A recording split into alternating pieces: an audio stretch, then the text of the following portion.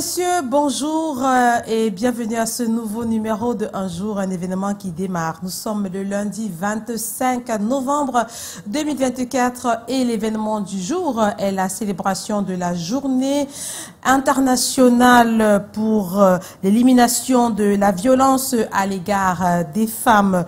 Dans le monde, elles sont nombreuses à subir des violences chaque jour et de tout ordre, physique, psychologique, social et même Au Cameroun, les cas des violences faites aux femmes ne cessent d'accroître et les auteurs restent toujours impunis. C'est la raison pour laquelle de nombreuses associations voient le jour et se mobilisent pour attirer l'attention sur ce phénomène euh, qui fait beaucoup plus de mal à la société que de bien.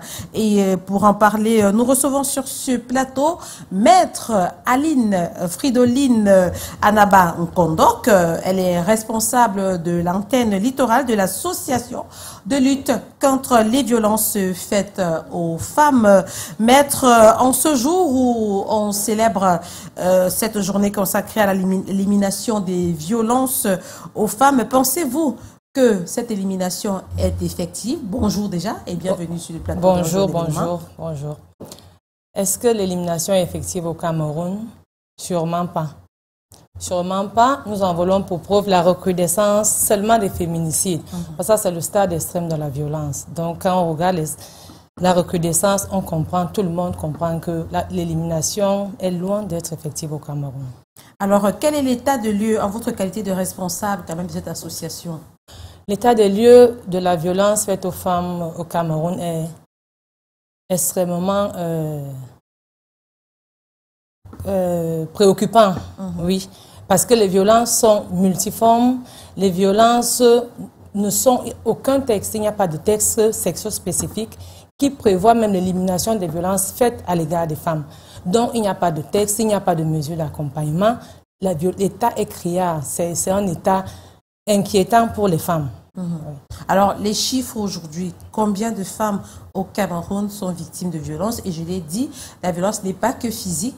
Les femmes subissent des violences psychologiques, sociales et voire même euh, financières. Oui. Combien de femmes On ne saurait dire et avec exactitude combien de femmes? Puisque les statistiques ne nous donnent pas de, un nombre exact. Mhm. Nous avons euh, le MINPROF qui nous parle de deux femmes sur trois qui sont victimes de violence. Et sur, quelle, sur, quelle, fréquence? Par jour, par mois, par an? Par, par jour, mm. par jour. Ça ne peut même pas être par an, c'est mm. par jour. Les Donc violences, deux femmes sur trois victimes de violence en une journée. En une journée, deux femmes sur trois. D'après le ministère de la promotion, de, la, de la famille. Oui. Ce qui fait que, et même ces statistiques, il y a l'Institut le, national de la statistique aussi, mm-hmm. qui donne les mêmes statistiques. Et nous, à LVF, qui sommes euh, un centre qui avons des centres de vie de femmes, où nous accueillons des femmes, nous nous rendons même compte que ces statistiques ne sont pas les, vraies statistiques. Parce que nous avons des violences visibles, nous avons des violences invisibles. Il y a des femmes qui subissent, qui n'en parlent pas, il y a des femmes qui osent se prononcer. Et maintenant, le nombre de femmes, parce que quand on parle d'une violence, on va peut-être parler d'une seule violence, mais quand une femme est déjà victime peut-être de violence physique, ça veut dire qu'elle est déjà passée par la violence psychologique, elle est passée par la violence économique, et elle arrive à la violence physique. Ce qui fait qu'une seule femme, en une seule femme, on retrouve 4, 5, 6 types de violences. Donc, ce qui fait que les statistiques, nous ne les avons pas. Nous n'avons pas de bonnes statistiques. Est-ce que euh, cette absence de statistiques réelles est due au fait que les femmes ne dénoncent pas ou n'en parlent pas autour d'elles? Effectivement, les femmes ne dénoncent pas. Les femmes, nous sommes les causes des, des violences faites aux femmes au Cameroun, c'est le système patriarcal. C'est ce système qui nous englobe, qui, dans lequel nous vivons et qui se pérennise, se pérennise de génération en génération. Ce qui fait que les femmes, quand elles sont éduquées, les jeunes filles, à un moment, on pense même que subir la violence est normal. C'est pour ça qu'on ne trouve pas ne trouve pas la raison de dénoncer. Quand vous allez à mariage, votre maman vous dit qu'il faut supporter. Et puis on supporte. On supporte jusqu'au moment où on se rend compte que mais là, je vais peut-être mourir les plus courageuses. Parce que pour les moins courageuses, elles supportent jusqu'à ce qu'elles meurent là. Et parfois, c'est des morts même qui ne sont pas dénoncées, qui ne sont même pas, on n'en parle pas, elles meurent tout simplement victimes de violences et on trouve que c'est normal. Donc ce qui fait que les victimes, elles sont dans tous les secteurs de la société Et puis, c'est banal, c'est devenu un phénomène banal. La violence faite aux femmes est un phénomène banal au Cameroun. Et il faut dire que lorsqu'il y a violence, et qu'on n'en parle pas, qu'on ne dénonce pas, on peut aboutir à des cas de féminicide. Et c'est ce qu'on voit euh, ces derniers jours au, Cameroun, euh, maître Anaba. Oui, les, les, féminicides existent depuis la nuit des temps au Cameroun. Euh, ces derniers jours, c'est parce que les réseaux sociaux sont là il y a possibilité d'en parler, il y a possibilité de dénoncer, il y a possibilité de, saisir le plus grand nombre de personnes en un laps de temps. Ça veut dire que le fait se passe et là on met sur la toile et tout le monde est informé. Mais sinon que les féminicides existent depuis la nuit des temps, ils sont aussi vieux que les violences faites aux femmes, tout simplement. Alors vous dites que la cause c'est notre type de société, société patriarcale. Mais on se rend compte que même euh, sur d'autres cieux, on voit les violences faites aux femmes et pourtant c'est pas toujours le même système système patriarcal, là-bas, les femmes sont beaucoup plus émancipées et peuvent oser dire non. Mais pourquoi? Sur, d'autres cieux, il y a toujours ces violences-là. Mais le système patriarcal, il est partout, n'est pas qu'ici. Hum. Le système patriarcal, c'est ce système qui veut depuis la nuit des temps que la femme est celle-là qui est en dessous de l'homme. La femme est celle-là qui, est, qui a moins de valeur que l'homme. La femme est celle-là qui, dont la vie, dont la vie, dont l'honneur, la dignité compte moins que celle de l'homme. Mm. Le système patriarcal, on le retrouve partout. On le retrouve dans la Bible, dans l'islam, les religions, les traditions. Les religions, c'est pas chez nous seulement. Mm. Les religions, c'est partout. Le système patriarcal, il existe depuis le Moyen Âge en Europe.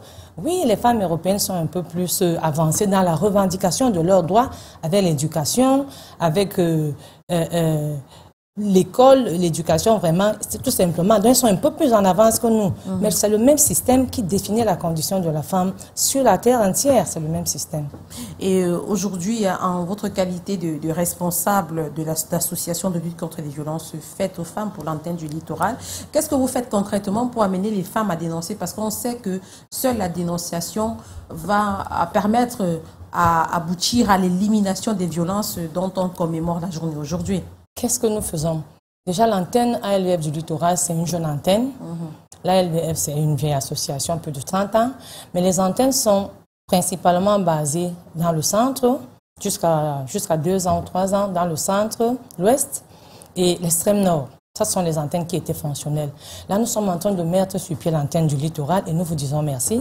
C'est la deuxième fois que Canal 2 nous reçoit d'ailleurs et nous pensons que notre passage sur les antennes de Canal 2 va toucher le maximum de femmes pour qu'elles comprennent déjà qu'il y a une antenne ALVF littorale qui est situé, sans publicité d'ailleurs, dans les locaux de la mairie de Douala 1er, le centre annexe d'état civil qui est à Deido. en face de l'hôpital de district En face de, l'hôpital de district, oui, derrière le commissariat. Mhm. Donc les femmes comprennent déjà qu'il y a un espace parce qu'on s'est battu pour aménager cet espace. C'est premier, la première chose à faire, avoir un espace où les femmes peuvent venir en toute sécurité, où elles seront déjà écoutées. Donc là, nous pensons que c'est le top départ. Mais avant cela, avant que nous n'ayons cette, euh, cette antenne, ce local, on appelait cela un centre-ville de femmes aménagé, nous étions déjà le bouche à oreille. Parce qu'il n'y a vraiment pas un centre où on peut écouter les femmes. Le bouche à oreille fonctionnait déjà. Et c'est le lieu pour moi ici, pour nous à LVF, de dire merci au président de la Chambre nationale des huissiers de justice du Cameroun, Maître Namé, qui nous a accueillis dans ses locaux parce que moi je suis sa, je travaille, je suis sa collaboratrice. Il nous a accueillis vraiment, il a accepté que les femmes viennent dans ces locaux pour être entendues par l'antenne ALB Littoral. Mm. Donc aujourd'hui, c'est le seul endroit, nous avons des numéros de téléphone. C'est par là que les femmes arrivent à nous joindre. Mais aujourd'hui, nous voulons dire aux femmes officiellement que nous avons un lieu, un cadre. D'accord. Alors, euh, euh, aujourd'hui, d'après vous, qu'est-ce qui peut expliquer le fait que les femmes continuent ou que les femmes aient peur de dénoncer L'éducation. Déjà, ça, l'éducation. Mhm. Le poids de la tradition, le poids de la religion. Oui. Ça, parce que quand on nous éduque en tant que femme, on nous élève en tant que femme, on n'a pas le droit de dénoncer. On ne nous éduque même pas dans nos familles, dans nos sociétés, en nous disant que nous sommes victimes de violences. On nous éduque en nous disant que notre situation est normale, que c'est la situation de la femme. Mhm. La première chose, c'est l'éducation. Pourquoi on ne dénonce pas cette l'éducation Et maintenant, vers qui est-ce qu'on doit dénoncer? Qu'est-ce que la loi prévoit? Concrètement pour les violences faites aux femmes La loi ne prévoit rien. La loi ne prévoit absolument rien. Le code pénal camerounais ne prévoit aucune loi sexo spécifique qui quand une femme est victime de violence, elle va dire, la loi dit ceci pour moi parce que je suis une femme victime de violence, je m'en vais me plaindre. La loi ne prévoit rien. Nous avons un faisceau de, textes qui englobe tout, qui nous parle de...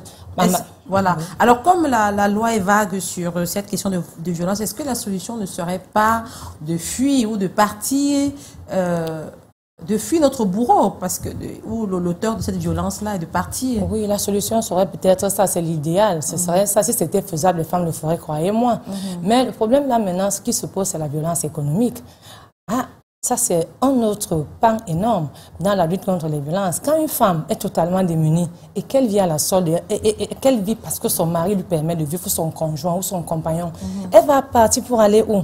Puisque même sa famille, généralement, il y a des familles qui vous abandonnent et qui vous disent non, vous restez là-bas, tu restes là-bas parce que là, nous, on ne veut plus, on ne peut pas te prendre en charge. Nous savons tous que c'est pour ça que les racines du, des violences faites aux femmes, il y a le patriarcat et il y a le euh, capitalisme, ce sont les deux racines. Le capitalisme, c'est l'argent, et c'est les hommes qui ont l'argent.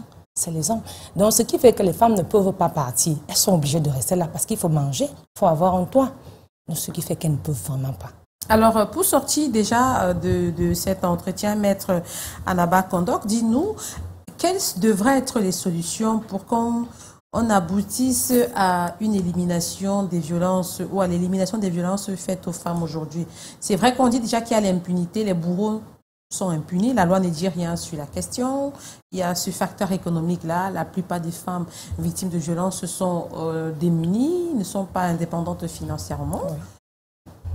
Quelles sont les pistes de solutions de sortie? Nous allons déjà dire une chose, les lois. nous devons avoir des lois. Nous devons avoir des lois qui favorisent et qui amènent les femmes à comprendre que quand elles vont même dénoncer, elles seront écoutées. C'est tellement difficile quand nous accueillons ces femmes parce qu'elles viennent vers nous. Mhm. Elles sont totalement euh, dépendantes économiquement et les procédures. Les procédures coupent les yeux de la tête. Les procédures commencent dans les hôpitaux.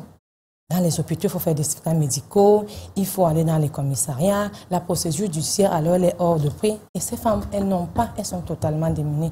La première chose que nous, à LVF, nous avons, à laquelle nous pensons et pour laquelle nous allons faire un plaidoyer, vraiment dans les sur les prochaines, prochaines années, c'est la gratuité de la procédure pour les femmes victimes de violences.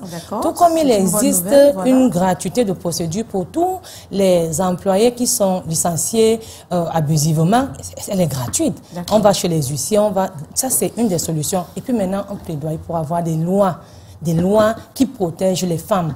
La plupart, je vais, la plupart des, des violences se font dans le cadre déjà euh, intime, privé.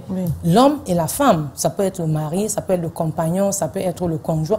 Et là, il faut des lois où, quand elles existeront, les hommes comprendront que dès que je franchis ce cap, au moins la loi prévoit telle, telle, telle punition, telle répression. S'il n'y a pas de loi, la violence faite aux femmes a de beaux jours devant elles. Très bien, euh, Maître Aline Fridoline banque. Donc, c'est sur ce, ces propos-là que nous allons mettre en terme à cette interview. Nous espérons que vous n'allez pas rester que dans les antennes. Vous pouvez aussi faire un plaidoyer à l'endroit du, du MINPROF pour qu'on essaye hein, de mettre ces lois-là en application. Pourquoi pas vers euh, euh, ces, ces élus du peuple, à députés et sénateurs, pour que ces lois puissent vraiment être implémentées pour que les femmes